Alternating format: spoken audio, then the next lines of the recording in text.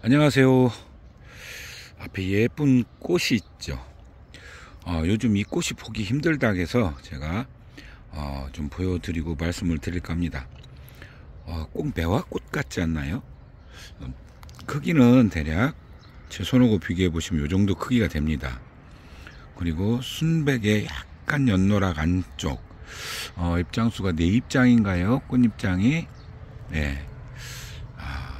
아, 아주 이뻐요. 그리고 크기는 그렇게 크지 않고 뭐 매화꽃을 담았다 그래가지고 뭐, 뭐 동북 산매화라고도 이렇게 표현하는데요. 바로 이게 고광나무입니다. 고광나무 꽃이 이렇게 이뻐요.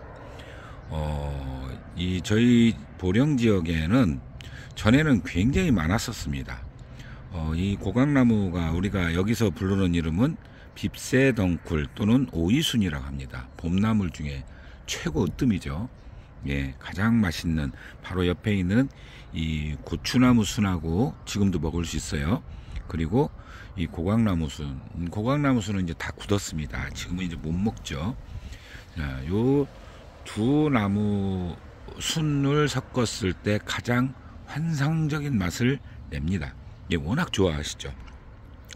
근데 제가 왜 이걸 보여드리냐면요. 어, 이거하고 산에서 비교를 당하는 것?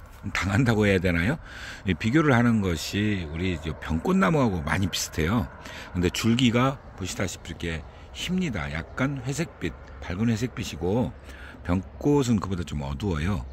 그리고 사는 위치가 약간 좀 달라요. 비슷한데 중복되는 데도 있는데, 이 고강나무는 약간 습한 쪽, 그리고 그보다 어, 병꽃나무는 좀 덜 습한 쪽. 그러면 하단 계곡 쪽에 있다면 뭐 병꽃나무는 그보다 약간 위에 있습니다. 볕 뜨는 쪽도 있고요. 근데 이게 왜 없어지느냐? 그 이유를 어, 제가 말씀드리는 게 정답은 아닐 수도 있습니다. 단지 제가 보고 느낀 거를 그대로 말씀을 드리면 저희 지역 같은 경우는 왜 요즘 그 외래종도 있지만 덩굴성 식물들이 굉장히 많이 있죠. 그 전에는 그런 뭐 칡순이라든가 환삼덩굴 그리고 뭐 외래종도 많아요. 이런 것들이 어 전에는요 날 틈이 없었습니다. 전부 비어다가 짐승을 그 동물을 줬기 때문에 가축이죠. 소나 뒤, 뭐, 토끼 이런 걸 키우는 분들이 염소 어, 그걸 줬기 때문에 잘할 틈이 없었습니다. 근데 그런 거를 안 하잖아요, 이제. 그러다 보니까 그러한 덩굴성 식물들이 얘들 감습니다. 싹 감으면 어, 이쪽에도 있는데요. 얘들 이거 많이 폈죠. 얘들 감으면 얘들이 죽더라고요. 그러다 보니까 이게 지금 없어지고 있습니다. 제가 지금 몇 개를 갖다 심었는데 그늘이 더 예쁘게 보일까나요? 여기도 있어요. 제가 지금 하나, 둘, 셋, 네 그루를 심어봤거든요. 굉장히 예뻐요. 꽃도 즐길 수 있고, 예, 그렇습니다. 자, 그러다 보니까 산에서 보기가 힘들어진 거예요. 예. 그리고 병꽃나무 순하고 구광나무 수고는, 어, 순하고는 비교가 되는 것 같지 않아요. 워낙 이게 맛이 좋습니다. 자, 우리가 이제 그래서 저처럼 이렇게 정원수로도 심을 수 있고요. 그리고 또 순, 나물 순도 어, 순을 먹을 수도 있고 봄나물이죠. 그 다음에 이 전초는요 약용으로 씁니다. 아, 약용 가치도 굉장히 커요. 그래서 참 다기능 식물이라고 저는 표현하는데 어, 이게 이제 꽃도 또 써요. 꽃도 꽃차로도 최근에 활용을 한다는데 워낙 없으니까 아마 어려운 것 같아요. 자 이게 열매하고 뿌리로 주로 약용을 쓰는데요. 그 열매 뿌리는 뭐 이뇨제, 강장제, 신경통, 그리고 뭐 치질 치료 이런 데 쓴다고 제가 그 전에도 한번 말씀을 드린 것 같습니다. 특히 뿌리는요, 어, 말려서 마시면은 말려서 이렇게 차처럼 마시면 신경통이나 근육통, 요통, 완화 뭐 이렇게 뭐 청열 해독 작용 이런 데 뛰어나다고 또 되어 있습니다. 어, 꽃 모양은 이렇게 생겼고요. 비슷하면 뭐하고 비슷할까요?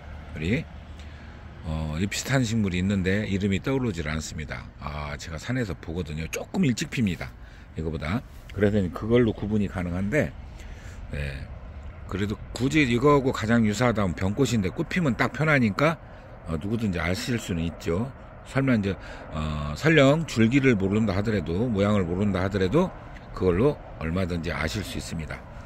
자, 워낙 다기능 식물이라 어, 나물로도 좋고 그리고 약용으로도 좋고 꽃이 있으면은 꽃을 따다가 말려뒀다 꽃차도 가능하고 쪄서 하는 게 훨씬 더 좋습니다. 그리고 뿌리나 줄기는 어, 잘 말려뒀다가 달여서 마시면 좀 전에 말씀드렸던 그런 효과들도 있고 어, 참 좋죠. 뭐 그 외에도요 줄기는 그 이게 우려낸 물로다가 몸에 부스럼이나 이런 거 피부 질환에도 그걸 이렇게 씻어준다고 그러잖아요. 그걸 소종작용이라고 할 거예요. 예, 그렇게 해도 굉장히 효과가 있다고 합니다. 참 우리 소중한 자원인데요. 안타깝습니다. 진짜 올해 제가 산에 가보고 깜짝 놀랐어요. 안 보여요. 거의 다 그 덩굴성 식물들이 덮어서 말라 죽어가고 있었습니다.